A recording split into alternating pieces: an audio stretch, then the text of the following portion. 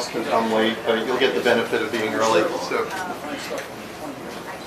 Thank you, Bud, for coming this month, and everyone else. We are the, in case, you know, you're in the wrong room, the Inventors Association of Manhattan. Uh, And who's new here tonight? Who's first time? Great. Well, you're in the right place if you care about inventing, or uh, you're trying to figure out how to get a product off the ground. We provide education, empowerment, and connecting for inventors, entrepreneurs, and startups of all kinds. Uh, The organization has been around for five years, uh, started by the founder, Patrick Raymond. He happens to be sitting in the back. Uh, I became president of the organization this past January. My name is Bruce Zutler. Uh, I also operate, no heckling.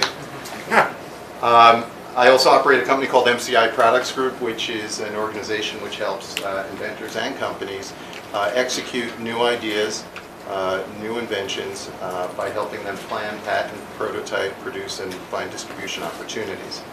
Uh, So this organization is a great extension of that in that I love empowering and educating people and helping giving them a safe place to learn more about the whole inventing process.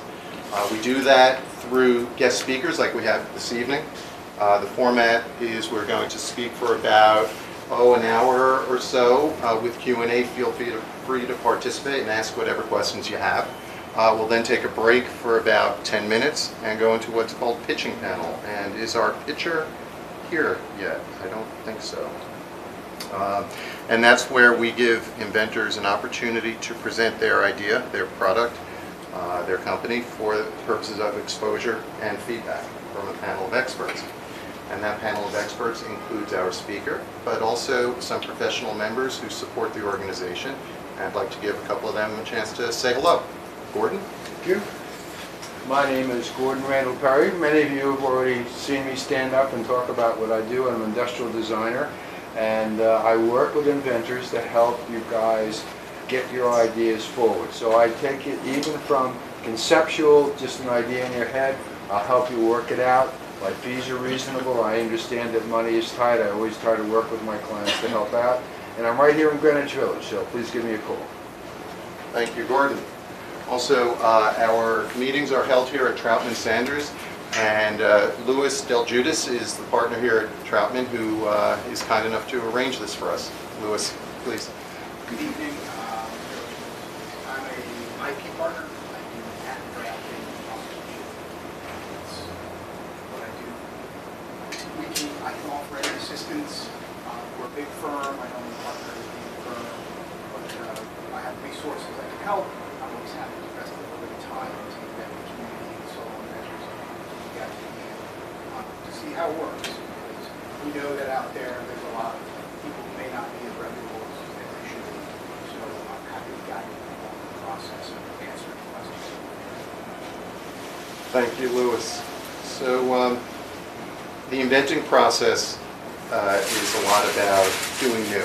And one of the things I've seen recently in working with some of my clients is that everyone is hung up about, I want to do something new and different. But, you know, the result that they get is not the result they expect. And just a little piece of advice and something I like to give every meeting, uh, something I heard from uh, a young person who was very uh, insightful, that if you want to achieve results you've never achieved before, you have to do things you've never done before. And I found that quite profound, especially for this young person. And to me, that was like, oh my God, you know, especially for inventors or startups. We all work from a comfort zone, which is where we tend to invent our product from, something we know. But to get the results we need to achieve might have to do with going out and speaking to collaborators you felt uncomfortable speaking to, uh, learning about marketing, uh, filing a patent and spending some money to get some protection. So I think we all get locked in that uh, quandary of what to do next. Uh, But in that spirit, and the title for tonight's meeting was uh, Tips and Tricks for Getting Your Product Off the Ground. And we have a lot of expertise in the room as it relates to patenting, whether it's Louis or some of our other professional members. Uh, But something that a lot of inventors tend to overlook is how to properly market a product. And I thought that a, a woman who I've uh, worked with in the past and has provided, provided good assistance to some of my clients is Dana Humphrey. And Dana is a recognized expert in PR and marketing. uh, has a strong understanding of the pet industry, but so many of the inventions that she has worked on has applicability to everyone's industries. So with that, I'd like Dana to come up and not speak too much about her stuff, but have her speak about her own things. Wonderful, thanks.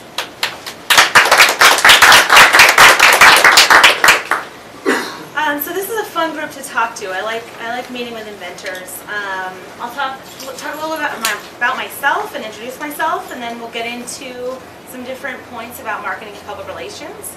Um, we can open it up for questions at the end. If you guys have any questions, uh, feel free to write them down and just raise your hand at the end. So again, my name is Dana Humphrey. My company is Whitegate PR. I'm a Danish, Dutch, Canadian American. And I've lived in five countries, visited over 50. I went to San Diego State University, go Aztecs, and I have a degree in public relations.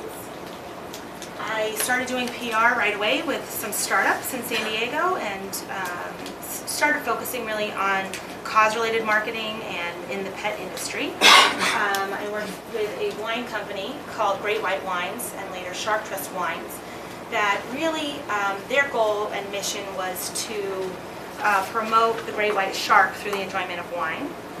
Um, and then I then I transferred into Metropolis, doing all their PR and marketing, and that's really what kind of got me focused in the pet industry. Um, I work with a lot of solopreneurs, as we call them, or petpreneurs. Um, but hopefully, some of the things I'm talking about applies to what you have going on as well. So I started Whitegate PR and I moved to New York City. Uh, we are a marketing and public relations firm that works with authors, nonprofits, um, all different types of industries, but we really specialize in the pet industry.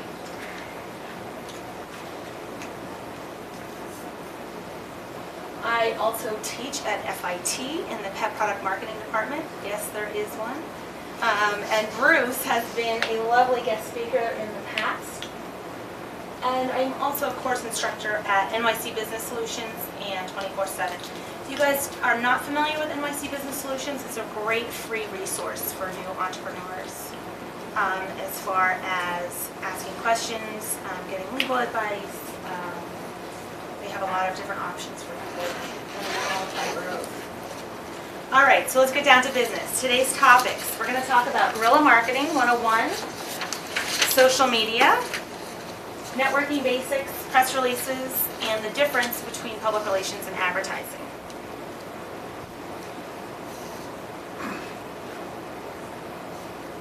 So, in light of what Bruce said, you have to do things differently to get some different results. Um, same is true with marketing and PR. Um, and, you know, same with making new products, right? Um, there has to be some kind of new twist on it to make it be interesting to the people that you're trying to reach. Um, so let's talk about guerrilla marketing, right? The first thing that you need to identify once you have your new product or service, right, is who's your target audience. Once you identify who your target, tar- does anyone know what a target audience is? It's their someone's demographic information, right? Does your product mainly appeal to male, female, um, age 30 to 50, or maybe 50 to 70? What's your target demographic? Once you decide those things, then you can start to plan how you're going to reach those people. Okay, what are those people reading, watching, and listening to? Because that's how you're going to get your message or your product in front of them, right? Um, so guerrilla marketing is kind of like a sneaky underground way to reach these people. Um, so we'll talk about a couple different options um, on how to do that. Meetup.com. How many of you are familiar with Meetup.com? Few of you, okay? Um, if you have a new product that is good, that is a book, let's say you have a new book, a good meetup group that you might want to join and interact with and learn to meet the members would be different book clubs on Meetup, right? Or if you have a new, um, I don't know, toothbrush, maybe you want to meet with the meetup group that's very worried about germs. I don't know, right? You figure out what type of group makes sense based on your target demographic and figure out how you can reach those people. Meetup has, you know, thousands, maybe even hundreds of thousands of different groups online sorted by zip code.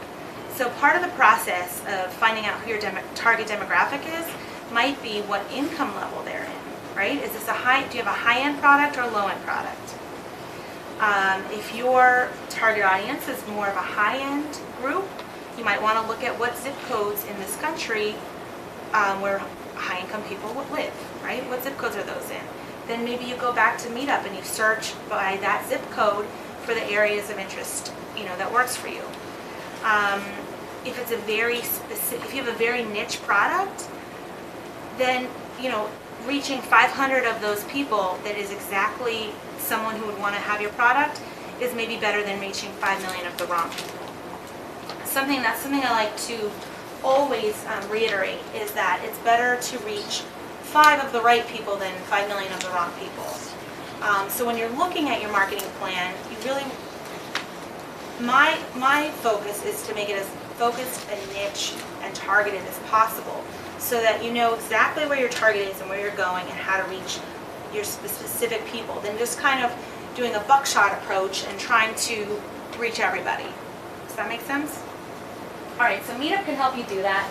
Um, if it's something here in New York City, maybe in the tri-state area, you know, maybe it's something that you can attend, start learning about your target demographic, or, um, you know, attending the group, getting to know the people, see who the influencers are. Um, or it's something that maybe you could even offer around the country. Maybe you can offer discounts to different groups, um, just via email on meetup.com. You don't actually have live in that zip code and, and visit that, that zip code.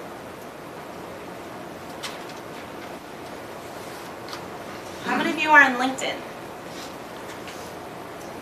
Okay, great. Um, for those of you who are not, that's your homework assignment. There's one thing you take away from this presentation is that you should get on LinkedIn. Um, you can create a free profile. You can invite clients, friends, neighbors, people you've worked with in the past to recommend you, um, and connect with anyone that you know, right? Um, the more people that you connect with on LinkedIn, the more of an online personal brand that you've created, which is going to help you in your new steps as launching a new product, being a business owner. Based on whatever you have going on in the past or in the present, maybe you work full time and you're also starting a new product. Um, a lot of people ask me, oh, should I have, you know, three different LinkedIn profiles, one for when I was a banker, one now for when I'm a chef, and one for my new product? No, it's 2013, you're one person, people do a lot of different things. Um, and you never know, maybe that person that you used to bank with when you were a banker 10 years ago, his brother is a manufacturer in China that can get you exactly what you need to make a new product. You never know what connections are going to come along the way that can help you. And the more recommendations that you can get, not endorsements, actual recommendations from people, will help you in your process as you're trying to create your new business. Right? People want to work with people that they like and that they trust. So if you have some third-party testimonials, people basically saying that yes, you're a good person to work with, it's going to help maybe open up that door when you're in a new new territory, right? Maybe dealing with new manufacturers, new patent attorneys, different people that you're not usually used to working with.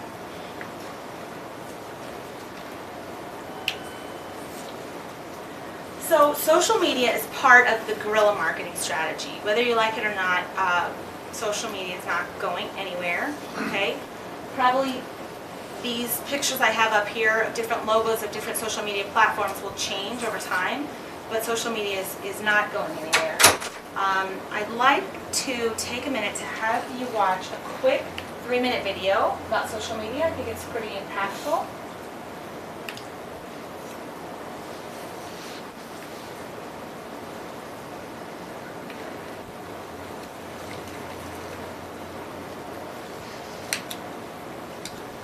Is that working, Dana?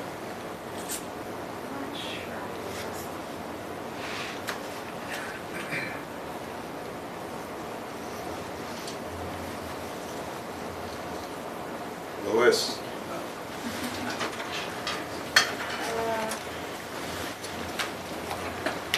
Thanks, Patrick.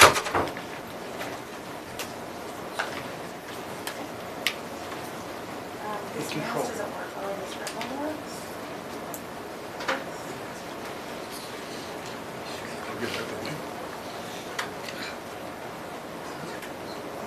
There we go.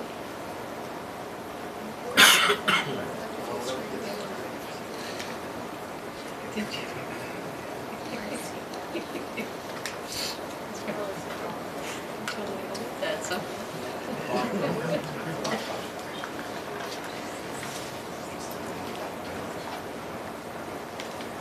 And for those of you that may have come in late, by the way, there's uh, beverages in the back of the room, and please feel free to help yourself.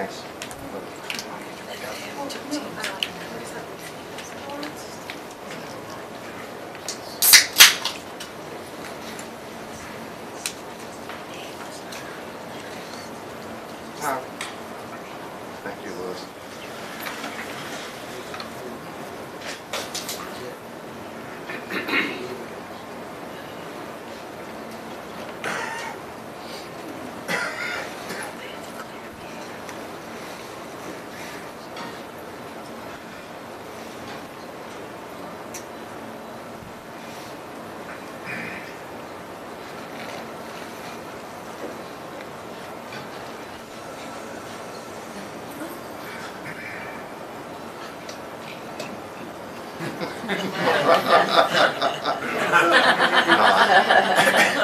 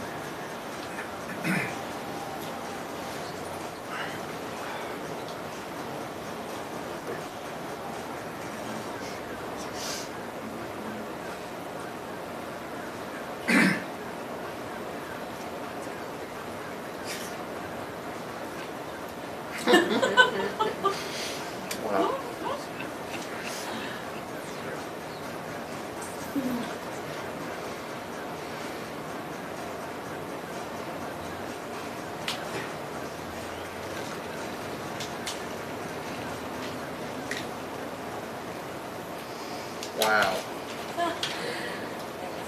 Amazing. That is amazing. Was everyone blown away by that? Yeah. So there you go. Um, so any of you who are thinking, oh, social media is not for me, unfortunately or fortunately, it is. If you have a new product, um, you either need to get on board with it, or thank you so much, or um, you know, have someone on your team that that knows what they're doing with social media. Um, the main thing I like to say about social media, and that's a whole nother longer course, um, is that it's social. I think a lot of people think that they need to be constantly promoting their products on different um, vehicles. Really, when it comes to social media, what I recommend is that you really pick the tool that you understand and that makes sense for you and reaches your target demographic, and you do that well. Instead of, I think a lot of um, new business owners or someone launching a new product kind of has this anxiety about social media, right? There's Twitter, there's Facebook, there's YouTube. What if I don't have a video? Well, then you don't need a YouTube, right? But maybe you should, you know, have a plan to get a video at some point so that you can be on YouTube because Google owns YouTube and highly ranks that content. Um, and I think a common um, common mistake people do is new business owners do is constantly um, tweet about their products, Facebook about their products. Really, in general, when it comes to social media, you want to use the 80-20 rule. Okay, 80% of the time be giving good, valuable information, and 20% of the time promoting your products. Okay, that's a great rule of thumb for any form of online marketing, whether it's email blasts or Facebook or Twitter. Um, an example would be you're at a party or even maybe at the drink session of this um, at this evening later on, and someone comes up to you and starts telling you about what they do. And they're talking and they're talking and they're telling you about themselves and how cool their product is, and they don't ever ask you about yours or really have any interest in what what you have to say or ask you any questions. At some point you're going to tune out, right? Or try to get away from that person and think, okay, I'm to go get another drink or I'm to go meet this other person. You tune out. Social media is the same way.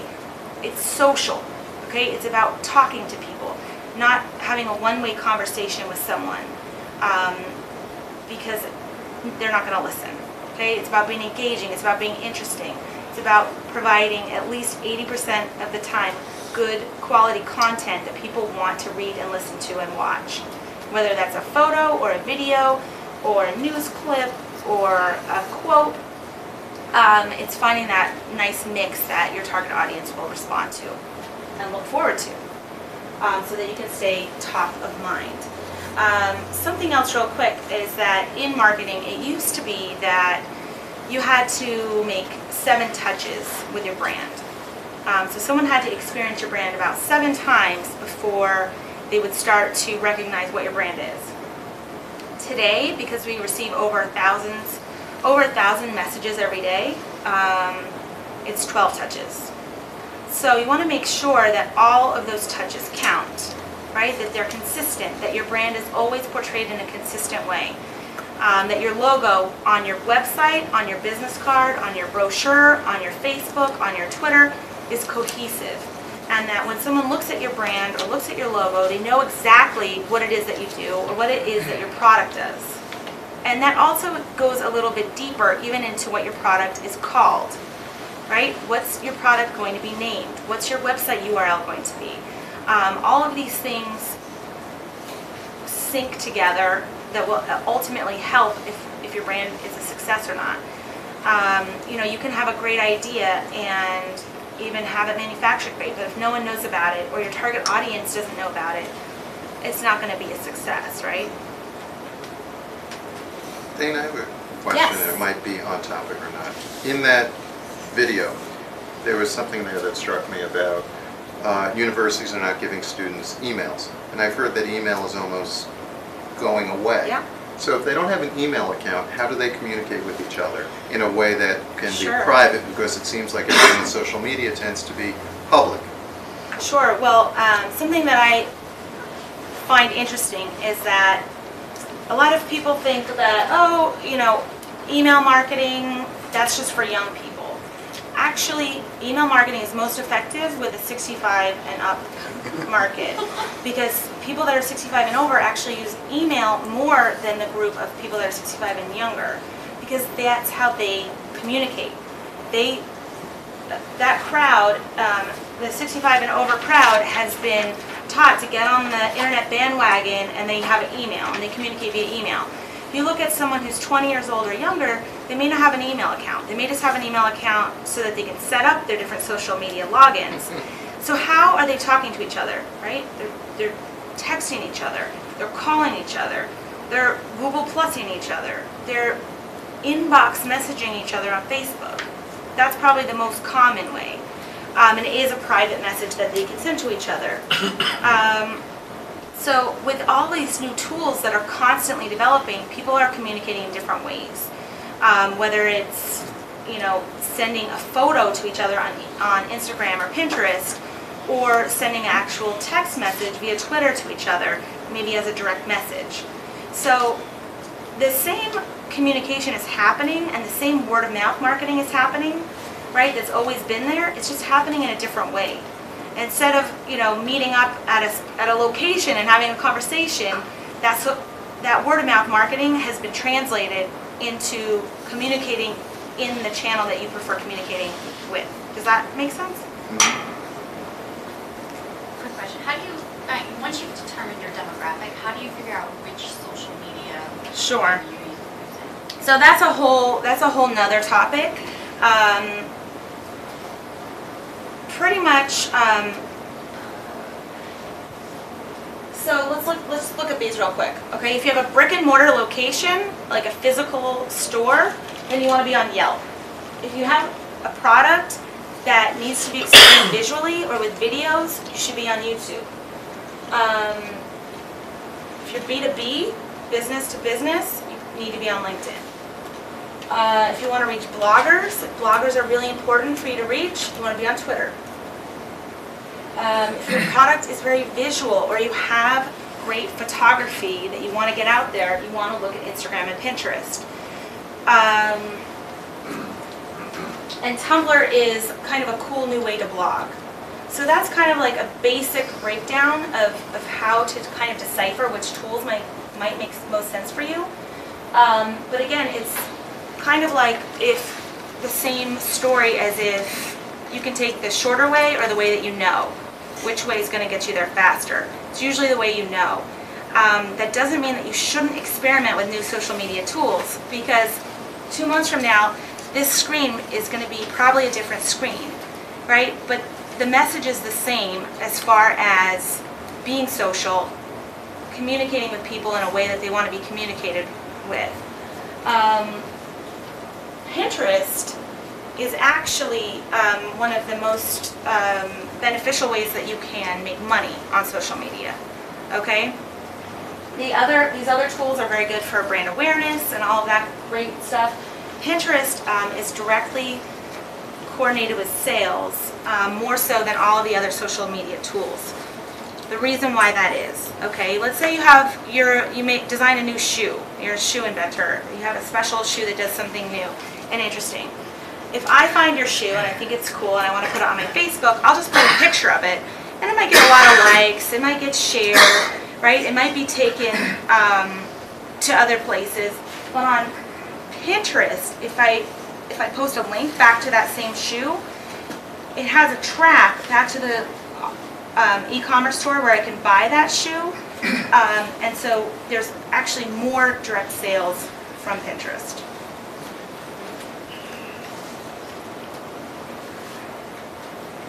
Excuse me, Yes, that's mostly a female demographic though, isn't it? Did you Sure. say earlier? sure. Yeah, exactly. So a- again, you need to look at your, your target demographic and see which, you know, which tool is going to make the most sense for you. Um, Which, what would be good for a male demographic then? If you wanted to sell direct? direct to consumer, male demographic. I guess Facebook. Um, possibly Twitter, depending on what type of product you have.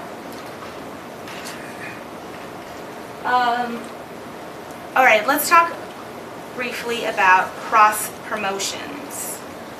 Um, I think that aligning yourself with other businesses that make different products that target a similar demographic is, can be very, very effective.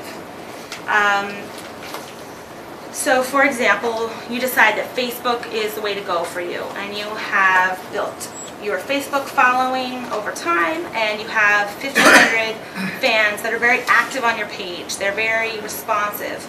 Um, you might want to find another brand that's in a similar place as you as far as where they're at in their growth um, and partner with them. If you make, you know, shoes for men and someone else makes pens for men, maybe you do some some cross promotions together where you recommend their things and they recommend your things. Um, it can be really effective for a startup or a new business when you don't have a lot of advertising dollars, right? It's a win-win for everybody involved. Um, maybe you want to do a Facebook contest, right?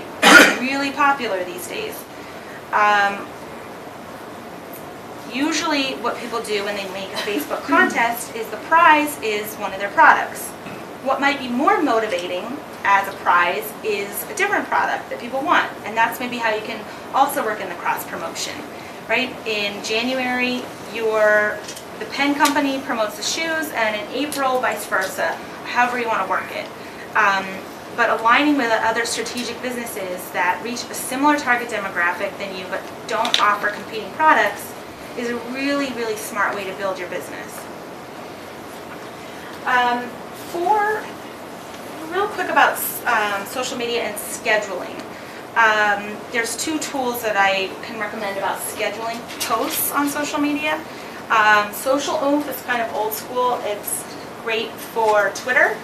Um, there's something new called vbout.com um, that's great for scheduling any type of post, um, whether it's Facebook, Twitter, Pinterest, LinkedIn. I just, I wanted to mention uh, in cross promotion, and Yes. another strategy might be, uh, I I have a, I know a few people that uh, connected with um, charities, Yes, and so it's like, they offer promotion of the charity and what the charity is doing on, on their Facebook page, and then the charity lists them as like fantastic people to buy things from on their page, I guess. Um, is probably the shortest way of putting it, but uh, I've seen it a, a few times. Yep. Um, how many of you are thinking of having a charitable partner for your new product? A Few of you, okay? Yeah, you want to leverage every partnership and every opportunity that you have. Um, it's also stronger, right, to to plan and pick one specific charity that you're going to work with than donate to 20 different random events throughout the year. Um, both things have their benefits, but um, you know, having stronger, deeper connections with um, specific organizations can be help your brand more in the long run. If you want to look at like Tom's Shoes or um, in the pet industry, this is very common. Most most brands um, donate 10% of proceeds to local shelter groups. Um, if they have, a, you know, if that whole 10% goes to one shelter group, then you have full support from that shelter group, right? But if you're putting, if you're doing 10% all over the place, then you have like a little bit of support from all these different groups. Um, you know, so again, you want to um, try to identify what type of charity partners appeals to your target demographic and go from there. It doesn't even necessarily have to be something that is uh, relevant to your industry or what products you make as long as it's the right people.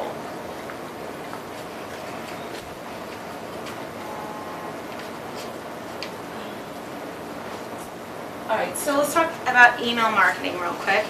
Um, so you know that if you have a target demographic of people 65 and over, email marketing is for you. Um, the, the ROI on email marketing is still very high because it's relatively inexpensive to do and to produce, and you can still have pretty good results. Um, interesting how things are changing. Um, I used to very, very strongly not recommend any form of direct mail. Think that that is changing think that it might be making a comeback because now we don't get junk mail in our mailbox, we get it in our email box. Um, however, you, again, 80-20 rule. If you're, if you're emailing people, hey, here's my new product, every single time, they're gonna tune out and they're gonna stop reading your emails and they're gonna unsubscribe. But if you have interesting, new, fresh content with tips and recipes and videos and actual good information, maybe about your industry that people want to read about, that your target demographic is interested in reading about, they'll open your newsletter at least every once in a while, right? So that you stay top of mind. Really the goal with all of these initiatives is to stay top of mind so that when, maybe it's three years from now, somebody needs to buy whatever cool invention that you made, they remember where to get it. Dana, I, I get asked a a lot by people, if I have ten thousand followers on Facebook, or I have an email list of, what is a reasonable yield to expect, like if you were to go to promoting something? Is it one out of a thousand that you would hope to want to buy something? Is it one out of a hundred? Is it one out of ten thousand? You know, what's the ratio? So it's really, as much as it is a numbers game, it's also more about how involved they are. So having 10,000 Facebook fans, you could get zero sales. You could have a million Facebook fans and get zero sales from that. Um, it's really more about how engaged those fans are. Um, I don't know, some of you may not know this, but you can buy fans on Facebook. Um, so if you buy 5,000 fans and now you have 10,000 fans, great, it looks good. But, um, you know, are you going to yield anything from those new 5,000 people that you just bought? No, because they don't care. They didn't even come to your page to like it. They've never even seen it before. Somehow they they got to, to like the page. So um, I'll give you an example. One of my clients, um, I've been doing their social media for a couple of years. It's really been built up over time. The company's been around for 20 years, and it's called Sturdi Products. And people that buy from Sturdi Products are really kind of hardcore Sturdi Product users. Once they're in, they're in, and they're very um, committed to their pets and to shopping. And the Facebook is around 4,000 fans. Um, it's not huge, right? It's not a huge amount, but the Facebook page is is um, the number one way that the website gets sales. Um, there's a huge interaction from the customers from all around the world that um, they help each other if someone has a specific type of cat and they live in Russia and they're trying to figure out what to get, they'll put it, they'll ask it on the Facebook, and someone who lives in Egypt with that same kind of cat will give them feedback about which product they should get. That's why you want social media, okay? It's for that third-party testimonial, so that it gets developed to the point that the fans are helping each other. As a social media admin, I don't even, I just get to watch, right? I just get to watch the magic happen and see people helping each other with their orders. It's like a whole new customer service team. And they're gonna believe the person that just wrote to them from Egypt more than they're gonna believe me, right? So it's really more about the interactivity that you can hopefully develop and create over time that makes a big difference. Um, that It answers does, actually, it- question. it comes back to a point you just said about the touches. You know, Yeah. It used to be the law of seven touches, now it's 12. It's- So it's not how many actual fans you have or followers, it's how many touches maybe is the average of those fans. And once you get them up to that threshold, then they might be ready to yeah, exactly. transact with you. Exactly. Um, some of you may have heard about buying email lists. Okay, you're getting into a new um, new sector. Maybe um, you have a new invention in a new industry that you're not familiar with. You don't know anyone that maybe is your target demographic. Well, um, I would really recommend building your own email list. Um, once you have email addresses, you can also always translate that into different types of fans.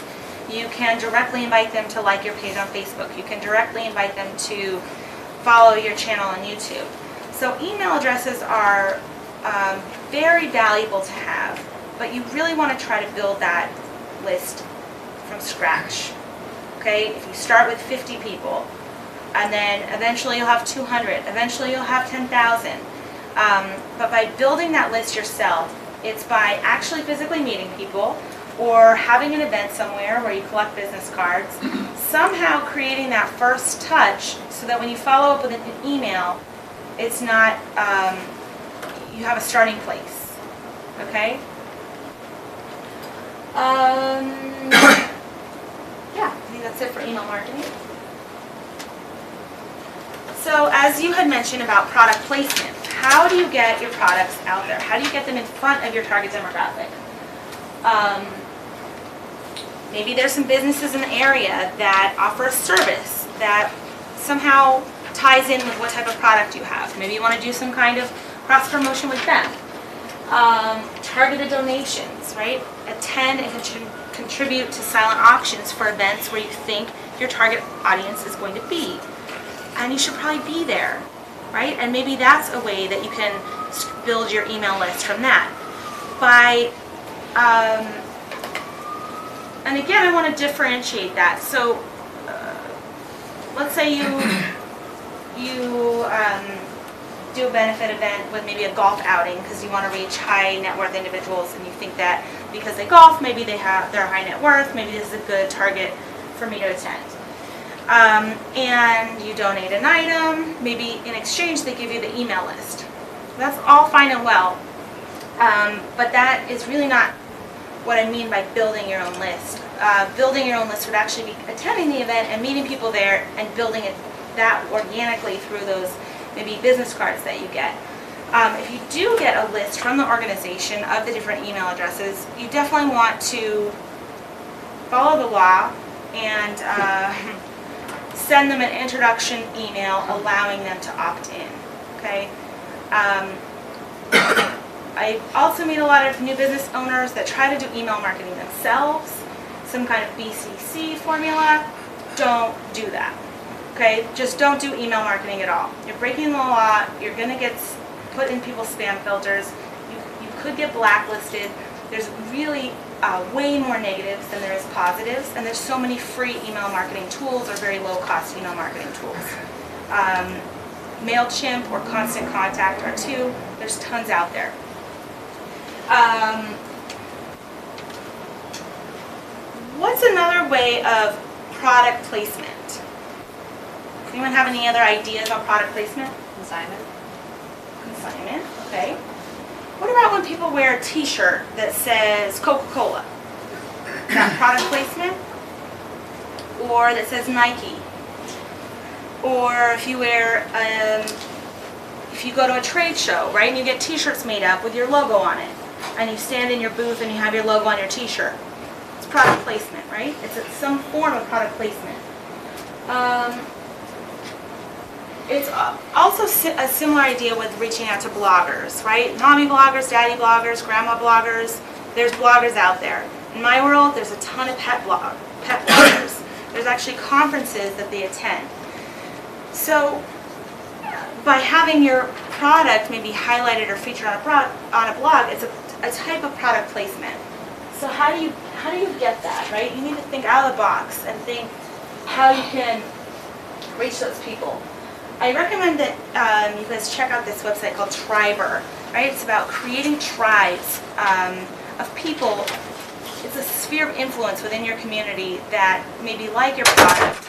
Maybe it's a blogger who writes about your product and creating your own tribe for your new brand.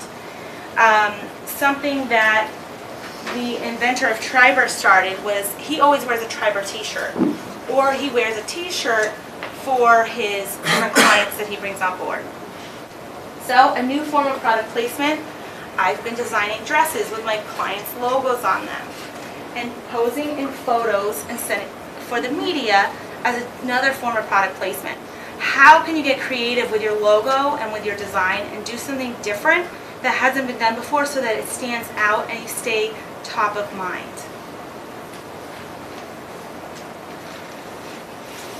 Um, part of, you know, part of launching a new brand, launching a new product, It's about networking, it's about meeting people, like you're all doing tonight. So good, you know about networking. Um, for those of you who are maybe new to networking, you're not too sure how to get started, um, there's something called BNI you can look into. It's kind of like a networking 101 um, to kind of get you into the gist of it.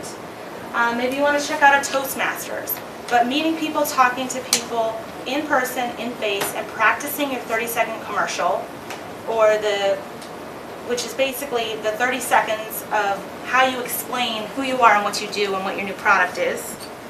Um, and then you follow up with them. Okay? Anyone have questions about networking? Questions and maybe a little bit, sort of touching this before Schreiber. Um, You're talking about contacting or having bloggers that are interested in what you do. Uh, I'm thinking about my products or the things that aren't in the market yet, and I think it'll be, I think for me, we'll be able to find um, our target audience through those bloggers will be really powerful. But I, I figured I'm just gonna figure it out as I go along, trying to find the bloggers that are going to be my biggest proponents. Sure, yeah. How do you engage those people? What do you think Okay. That's a great question. Um, I guess the first tip with bloggers is bloggers are people. They don't want to get an email that says, hey blogger, check out my new product. Guarantee that's not gonna work. They don't, they don't want that. Just like if you would get an email like, hey product maker, you know, it's just, it's not personal, it's not engaging. Really, um, the best thing to do is do your research. Um, so how do you even get started, right? You can just Google top 10 blogs in XYZ industry, see what comes up. Check those out. See if um, they would actually ever even write about the type of product that you have. Again, um, I think it's stronger to send one really great email to a blogger than 10 like random generic emails to 10 bloggers. Um, you're going to get a better response. Um, for example, in the pet industry, right, if I have a new treat that I'm trying to promote, and I have a nice list of all these blogger, pet bloggers, and I send it to all of them, sure, that might have saved me a little bit of time, but it really wasn't that effective because I had a bunch of bloggers in there that I know don't ever write about health or nutrition or would never feature that type of product.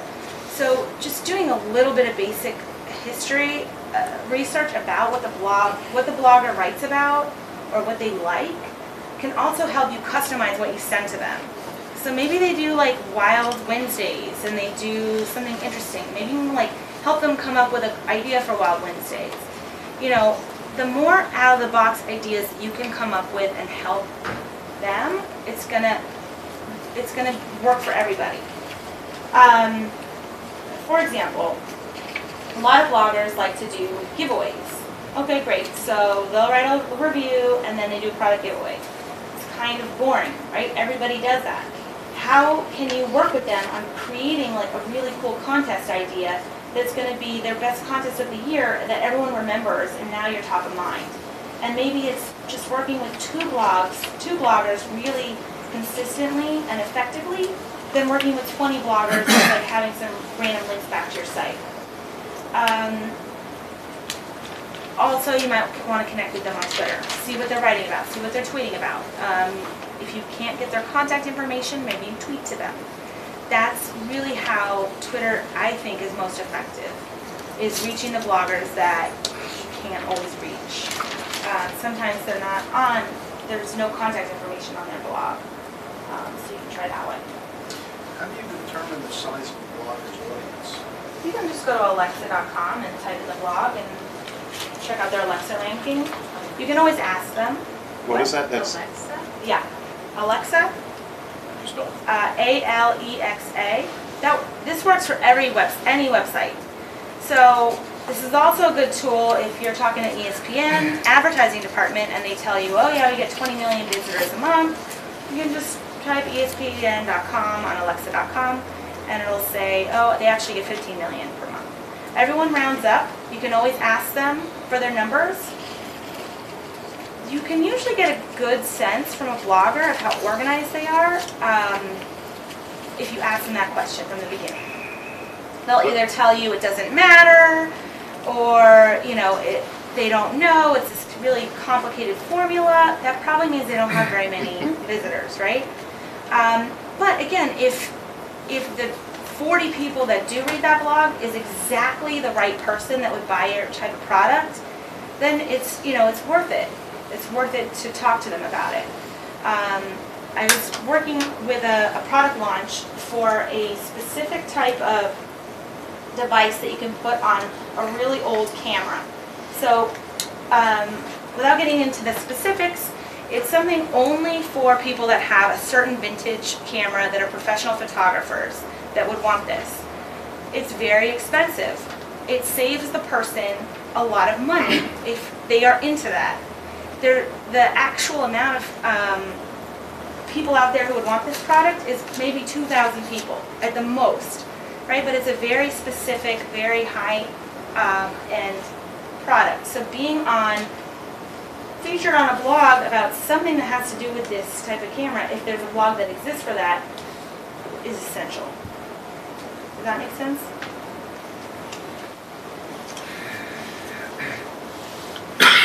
Um, all right, let's talk about press releases. How many of you have ever written a press release before? Oh, good, a lot of you. All right. So you, you already know the scoop. Just like um, your social media posts or any kind of presence that you have, your press release should be interesting. Okay? It should be newsworthy. It should be timely. It shouldn't be about something that happened last year. It needs to be in the correct format. And it needs to announce actual new news. If you don't have any actual new news, maybe you need to create something. Okay? Maybe you need to make a, a strategic partnership. Maybe you need to partner with a charity. Maybe you need to have a launch party. Maybe you need to come up with something that's interesting news, really timely, so that you have a press release to write. If you don't, um, there's, you know, a reporter's not going to be too excited to to produce your news. Um, correct format. Basically, the press rel- release is the tool that you use to explain what's going on with your brand and your company and your product to reporters. Okay? Sure, you can call them, you can email them, but really a press release is the way in which that they want to receive the information. Newsrooms have been cut over time, right? Over the past couple of years, newsrooms are getting smaller. The reporter's job is getting more challenging. The, the better the press release is that you give them in the way that they want it, the more likely they're going to want to work with you and produce your news. If, you, if this seems like something that you don't want to do, you can always work with a PR person. But you also want to make sure that um, that they feel, I guess, the same way about the importance of the press release. So here's just a couple of uh, formatting tips if you're going to be writing your own press release. Um, contact information, logo, okay? There's something called the date line. It's a city in which the press release is coming from as well as the date that it's being released on so that the reporter can accurately judge if this release is timely or not. Something that you may have seen before on press releases, three hashtags at the bottom, three pound signs. Basically, the reason that that's there is that press releases used to be faxed to reporters. Now, fax is, you know, more irrelevant. No one really faxes anymore. And the faxes, if it was a three-page press release, the faxes would go through. The pound signs are at the bottom. The reporter knows they got all the pages. We don't really fax anymore, right? You can just email the press release to the reporter, or you can print it out and hand it to them, or how you can tweet it to them, however you're going to get it to them. Um, but you still want to put those three hashtags at the bottom because it's kind of just following the formality of the press release. Photos is really where you can win with sending the press release. Once you have interest from a reporter that wants to cover your new product or service, you want to get them some really great photos. Okay? And you don't want to waste their time. So if you give the reporter a great story with some great quotes in it from some industry experts, maybe um, a founder of a big company that has something interesting to say about your new type of technology or product, you've helped the reporter. Right now, they don't have to do as much research. They can just run with your release as much as possible. They're probably not going to run the release exactly how it is, and that's okay. But the more um, information you can give them, like statistics, industry statistics, quotes from industry leaders within the body of the press release, they're going to be more inclined to use it than using something that's just copy and pasted copy from your website. That's not a press release. And when you send it to them, make sure that the photo is high res. Um, this is something that if some, a reporter asks you for a high res image of your product and you send them a low res image, they might not even bother wasting time with you going back and forth about explaining to you what a high-res photo is. Right? They're busy, they're on deadline, they're going to move on to the next story. Um, so this is something that trips up a lot of people when they're trying to do PR on their own, which maybe at first you might want to do. Um, you know, just make sure you get some of the foundations in place. Um, if you are trying to target a high-end person, a high-end market, then maybe you want to have lifestyle images, okay? People dressed nicely with your product, right? Nice professional lifestyle type images. That again is going to help your chance of getting featured in a magazine, a newspaper, whatever you're, wherever you're trying to get featured in. If it's just a, pro, a picture of your product on a white background, sure, that's fine too, right? It's hot, nice and high res. But the more interesting your pictures are, that would actually seem like they would appear in that magazine, it's going to be more likely of a fit. What's the second point you had there about the original format and size?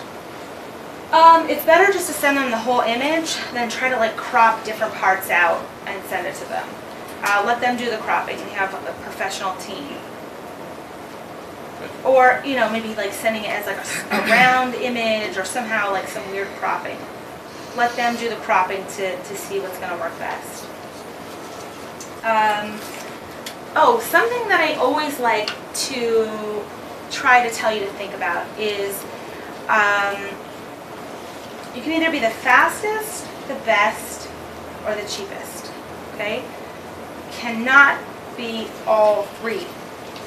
As you're developing your product, as you're thinking about your brand, think about those. You can be two of those things. Okay? I'll let you be two of those things. But you cannot be all three. And that's also going to help you in your process of figuring out who your target demographic is. Is your product the cheapest, the fastest, or the best? Okay? That, those, are, those are your options. So if you decide, okay, that's it, we're the best, then you need to price it that way. If you decide that's it, we're the cheapest, that's fine. Go ahead and price it that way. But know who your target market is and where they get their information. Um, and how you're going to come up with promotions that reach them, right? It's, if, if your goal is to be the cheapest, then you need to make steps to make your product the cheapest so that you can you can handle those low price points. Where are you going to where are you going to market that item? It's going to help you if you can identify one or two of those objectives.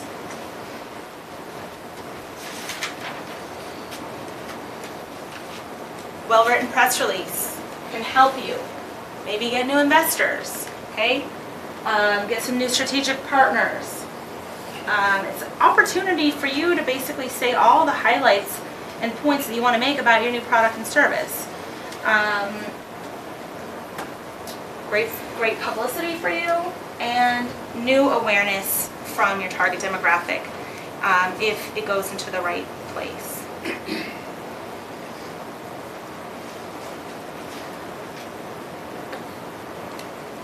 What is marketing? Marketing is the overall umbrella that has advertising and public relations inside of it. Okay? Here's the marketing umbrella. You have research, you have your advertising, promotions, public relations, and all of these great things combined, you get some sales. Um, I hope, as a public relations person, a lot of people um, maybe mix up the two, mix up public relations and advertising. There are different functions within your overall marketing plan. So based on your budget and the life cycle of your product, you're gonna need to do a different mix of these things.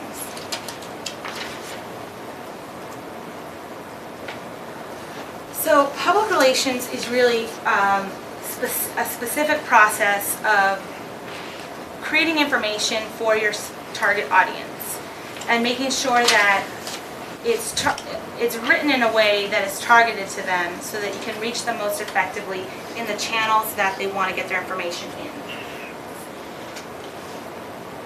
Whereas advertising is more of a paid one-way approach to getting your message in front of people. I think in the video it said something like 14% of people are getting their um, ideas on what to buy from advertising. Okay, advertising is is getting less and less um, important, I guess, for purchasing decisions.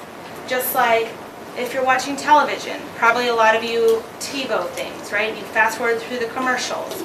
If you're on a YouTube video, you can skip the ad, right? If you're reading the Wall Street Journal, you know the difference between ad section and the content section. So really the goal with public relations is to get in the content so that what you're reading all flows seamlessly within the content versus a segmented, um, abrupt advertise, ad on the side.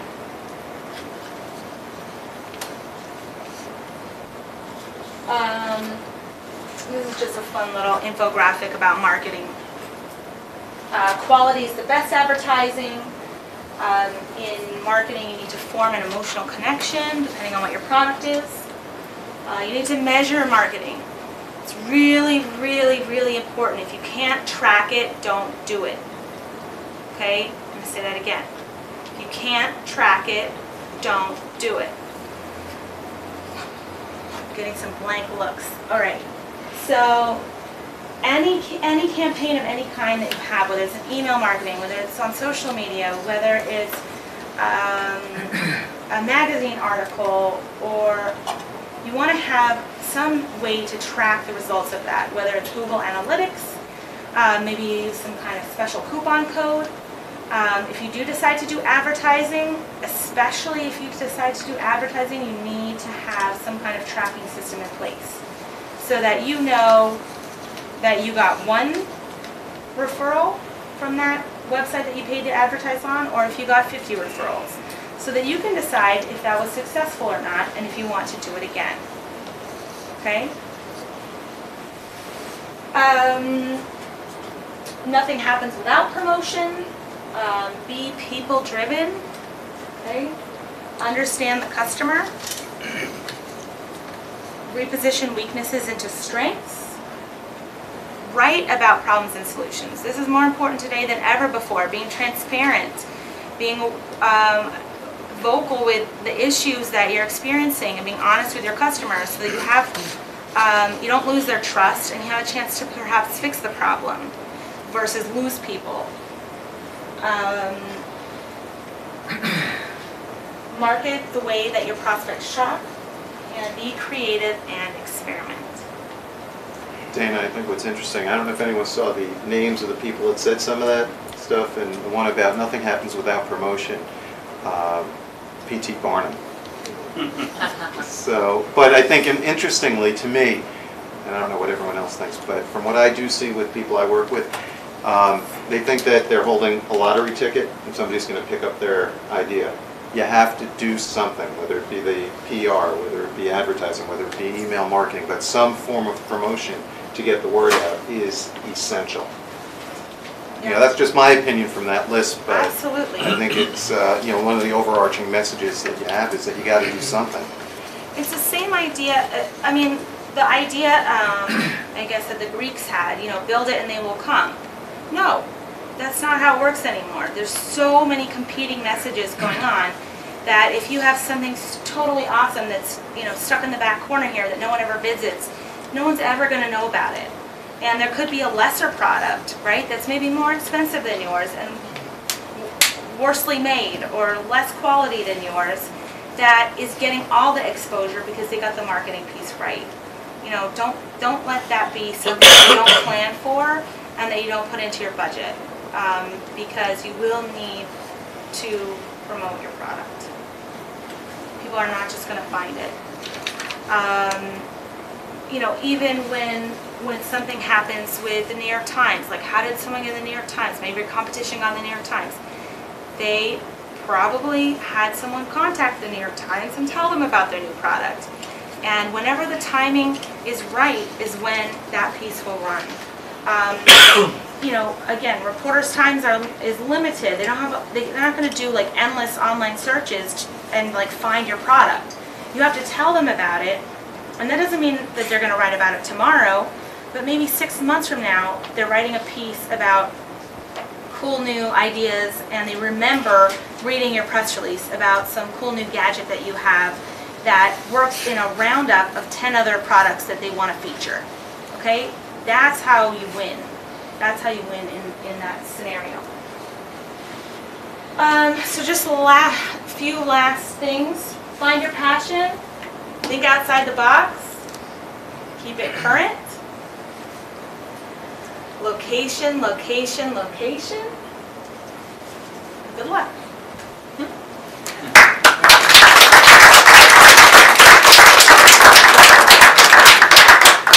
Thank you, Dana. Does anyone have any questions?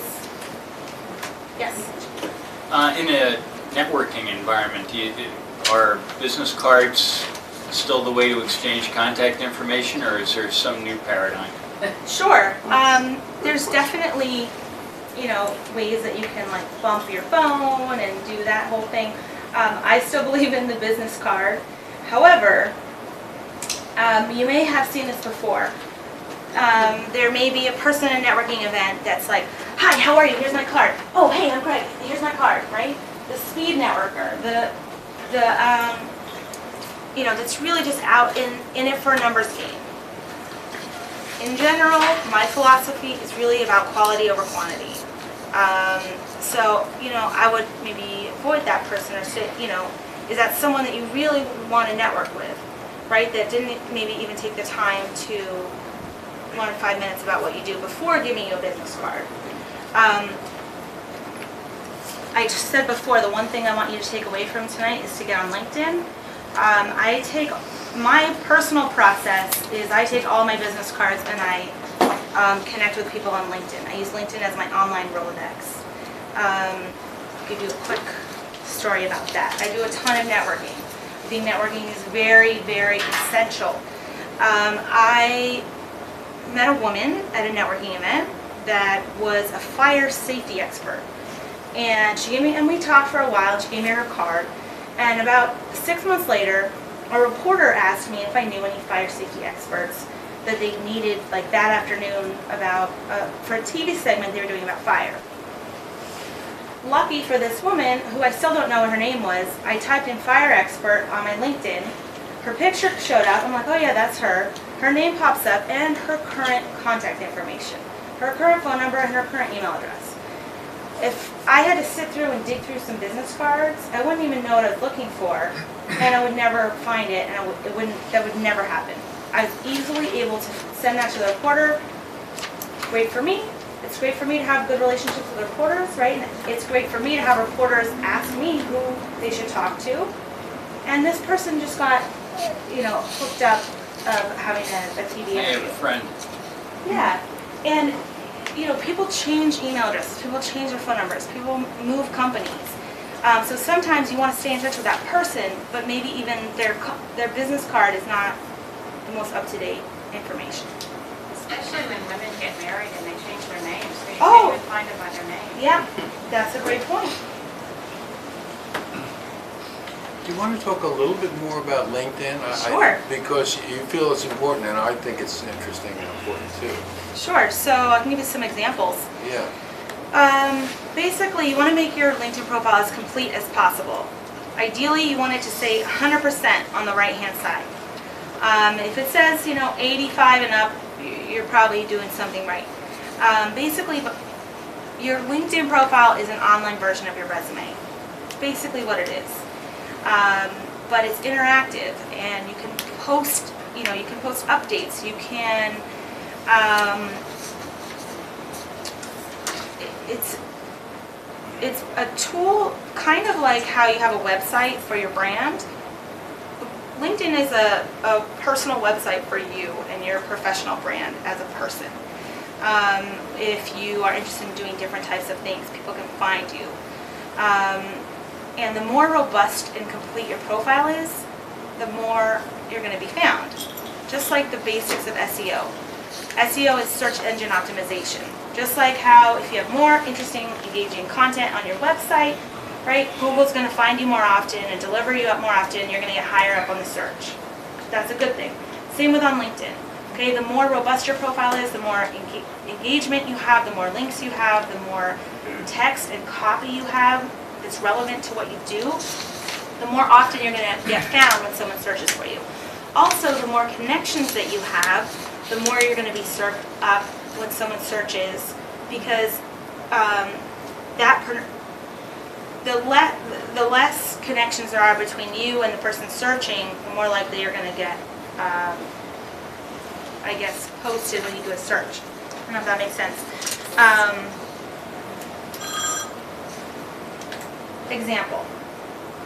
Um, Mid-July, I got an email from a woman in Ohio who's a security expert, and she wanted to talk about PR.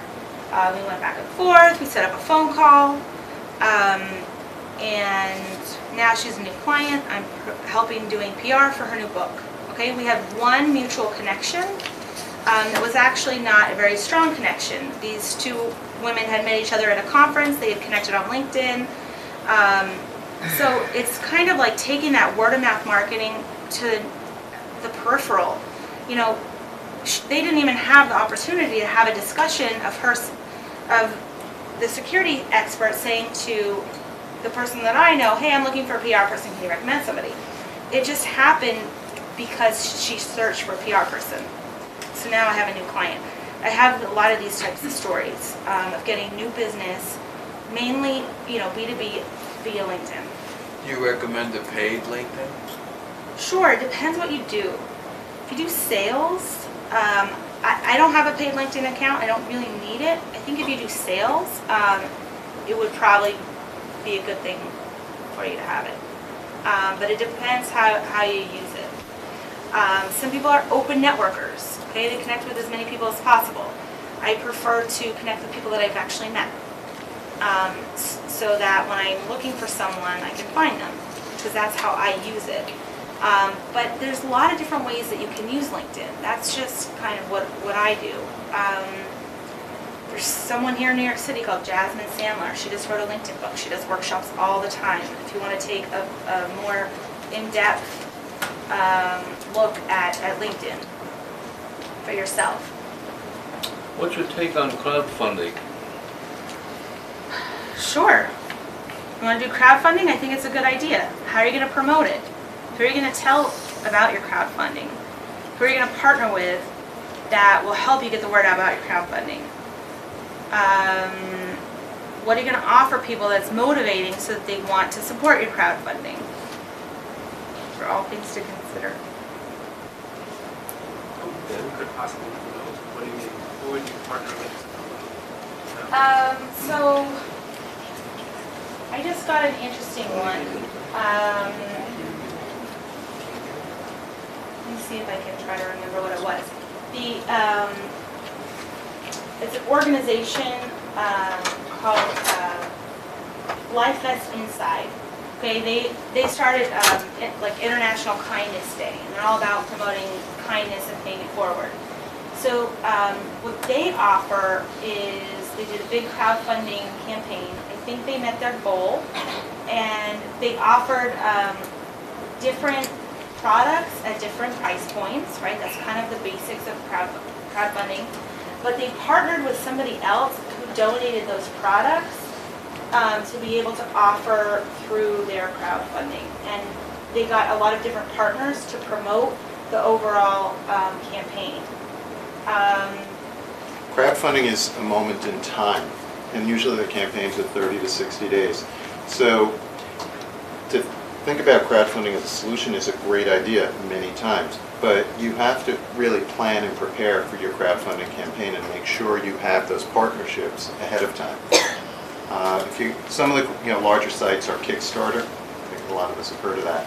But uh, some people get disillusioned with crowdfunding because they think, oh, I'll put my campaign, my product up there, and the rest will take care of itself. Right, Doesn't happen that way. right. You need to have a following because it's using social media to help you raise the money. Getting back to the law of touches, you want to have some level of engagement and awareness with uh, groups of people or partnerships. Exactly. Just the same way as you, you know, it's about doing it right and planning it um, and getting the right partners involved. Whether it's Twitter or Kickstarter or Facebook, right? Just because you create it, people aren't gonna just randomly do a search and like find you and be like, yay, I found it. It's not gonna happen. It doesn't happen like that anymore. Okay? I don't know if it ever did. But you have to have a way, a plan that, okay, we expect that one in five people that visit our Kickstarter page will donate. We need to make uh, $10,000, so we need to invite 50,000 people to look at this page. Where are we going to get those 50,000 people from? Are we going to get 10,000 from our friend over here that makes, I don't know, a shoestring and I make shoes? Whatever it is, that you can come up with some kind of partnership that makes sense for everybody uh, to help you promote that page. Whether, again, whether it's a Twitter page or your, or your Kickstarter page. Yeah, I, I wanted to ask you, I was listening to your, your great talk, uh, a lot of marketing or or PR advice you were giving was in the event that you have a product for sale. Many of us as inventors don't yet have the product for sale. So the, the PR that we would want to do is pretty much to mention that we've got a Kickstarter campaign. Is that the news? Is that the offer we'd like to get a journalist to write about? Hey, Patrick's got a Kickstarter campaign on great new product, that's somehow newsworthy, is your opinion? Sure. So the fact that you started a Kickstarter campaign is not newsworthy. Right. But how can you plan it so it is? Right? Maybe you do something in Union Square where anyone who like uses your iPad and donates to your Kickstarter gets to send a helium balloon into the air that gets popped over there. What, whatever that's interesting and different that hasn't been done before that might be interesting to a reporter, then you get your story. But I'm saying that for someone who doesn't have anything for sale yet, maybe Sure. a patent application, maybe barely a prototype, how does PR help us? And I guess the answer is through crowdfunding. That's, PR helps us make a crowdfunding campaign succeed. But otherwise, how does PR help someone who doesn't actually have a product developed yet, per se? Um, well, so if your target market is, I guess, potential investors um, or other business people, maybe you want, maybe you do want to have a, That makes s- sense, a story in like Forbes magazine, right? Where a potential investor might read about something that you have going on and, and connect with you that way, right? Whatever your goal is at that time. Usually, um, uh, someone like me, a PR professional, wouldn't get involved in the process until you're ready to go with your product. Oh, Um. And you actually have it already developed, you have a price, you have a website, you have a physical It's product, yeah. it's ready. Yeah, whether it's e-commerce only or whether it's, you know, in stores or a combination or whatever it might be. However, all these same principles apply that if you want to make like a really amazing Kickstarter, you can. There- um, have any of you heard of um, Shave Shave Club of the Month? Yeah. So that's a great ex- example. They didn't use a Kickstarter, but they all they did was create a video. They created one video for YouTube, and it wasn't all about. It was like a funny, quirky video about this new Shave of the Month club. It went viral. It, it got crazy, and they really became almost an overnight success as far as like people signing up. So maybe you know, based on who you're trying to target, what, where do they get their information? What are they trying to read? How can you tailor a press release about your Kickstarter to be interesting to that type of media so that you can get featured that way? Um, and, you know, I think there's a huge opportunity for coming up with cool creative Kickstarters that could be an actual in-person type of event that would then be maybe interesting to the media. Isn't part of the answer to Patrick's question um, that even though we don't have products yet, eventually we, all the folks, the inventors want to have products. So you, you're laying the groundwork. I mean, to me, all the things you're talking about take time. That they're not going to happen overnight. They're going to take weeks, months, maybe even years to develop, like a groundwork of connections and Facebook and Twitter and all that, so that when the product is ready to be introduced, then it, it'll be introduced in a fuller way. Wouldn't you agree with that? So that's really, I guess, why I stress LinkedIn because that's really about um, about you and, and working with you as a person, um, so that when you're ready to launch, let's say January 1st, 2014, some of that groundwork is there. You also don't want to waste any touches. Okay, um, you already have to get so many of them. You don't want to have any wasted opportunities. Uh, I really believe that it's important to be clear and consistent with your brand and that um, if I meet you tonight and you give me your business card and it has uh, a, a logo on it and your contact information, and I come back six months from now to another meeting and I get a business card from you, and now you have your new product, and it has the new product logo and all that all that jazz, it's a little bit confusing to me, right? As a person, you oh, is this the same person? Oh, they have a new company. Um, uh, as far as the social media is concerned, you would want to have it be specific to the brand. So if, really, I think the process is, um, you know, product, product name, URL, social media, and then your rest of your marketing materials. I think an that interesting perspective too, and partially to Patrick's question about people who are developing products. I think if you're looking at PR in general, uh, to hire a PR professional takes money. At the point that you're at where you might be looking for an industrial designer or getting ready to patent, that's where you want to allocate your money at the time. That doesn't mean though that if you are really studious about what you're trying to do, there isn't a place to perhaps have PR, i.e. Uh, I have a client that's looking for a distributor of his product, and, but he's not ready with the product yet. But he knows he wants to not be ready to market and then figure it out. So he's attending trade shows. You could send out a press release uh, within the magazines for a particular trade show industry looking for a distributor. Product will be launched in January. Um, There's an opportunity to use PR in the pre-product phase. So I think it's a matter of understanding your budget, where you want to allocate it and when, and what your product is. And think about maybe Facebook. When Facebook was out, they had half a million, half a billion users worldwide. But what were they promoting? They were promoting their IPO. That might not be a good example, but they were selling the IPO.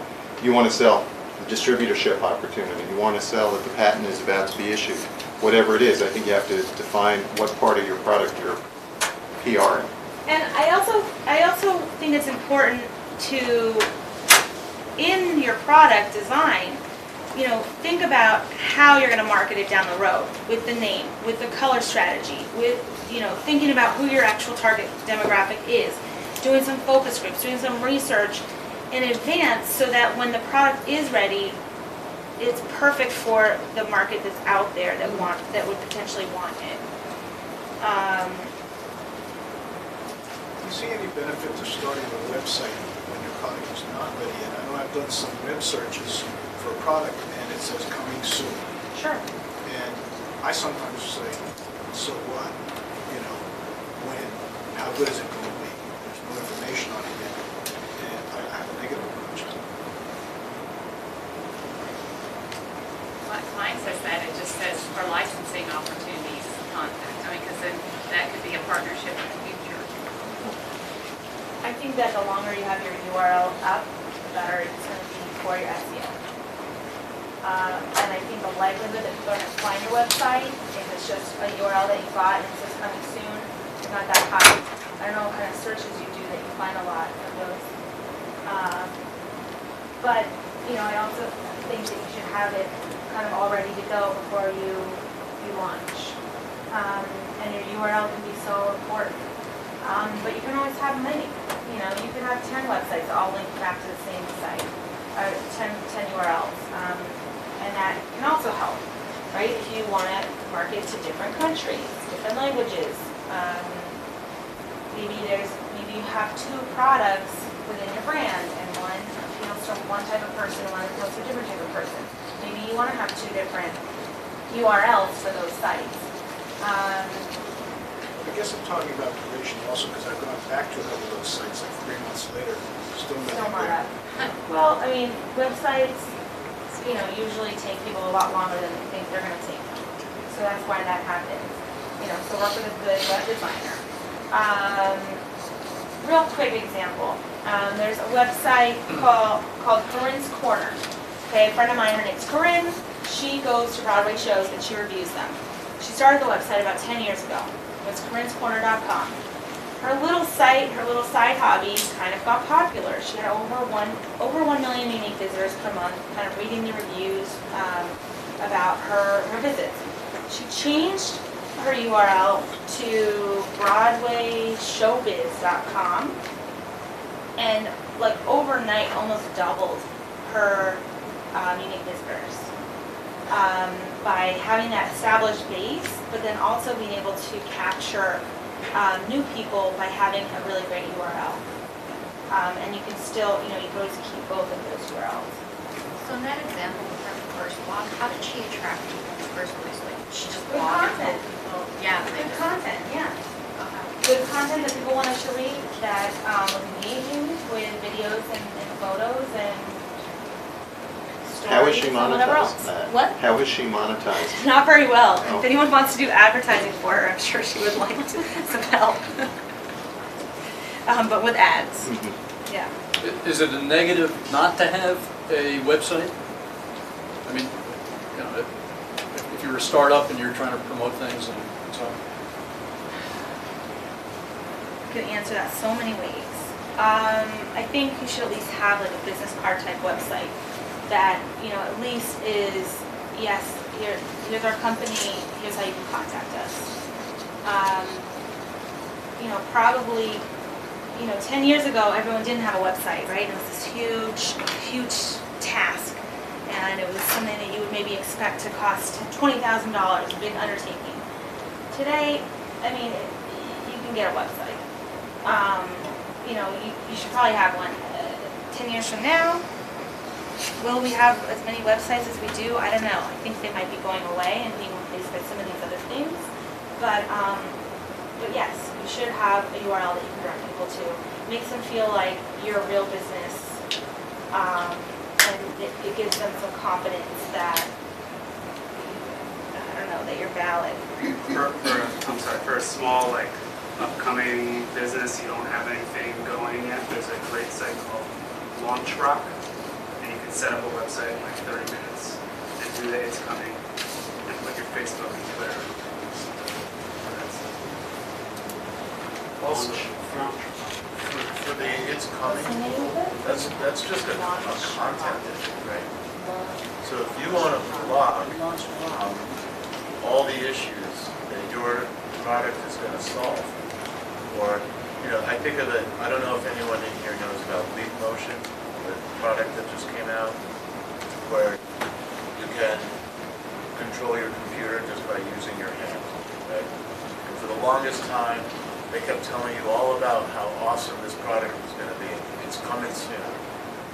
And they, they sold like a million of these things before they had even produced them, just by getting people excited about the prospect of what this thing was gonna do.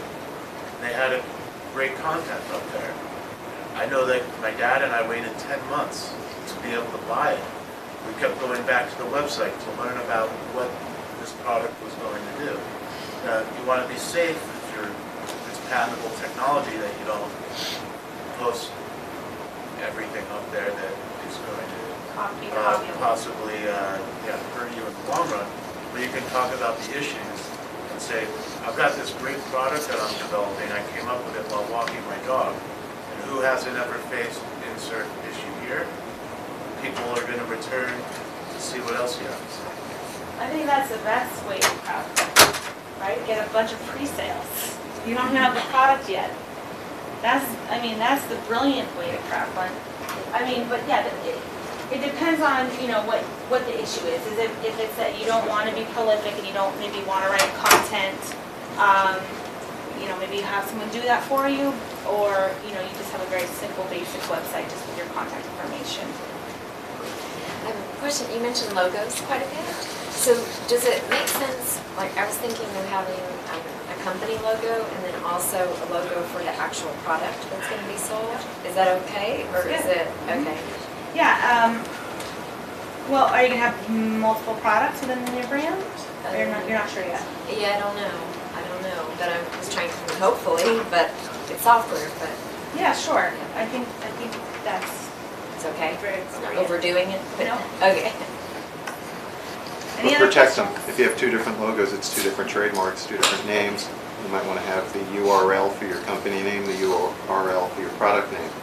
Uh, But, you know, to the point of focus, you don't want to dilute one versus the other. Think Right. about where you're going to want to put your efforts Okay, thank you. and what your identity is going to be about. Okay. Dana, thank you very much. Thank you.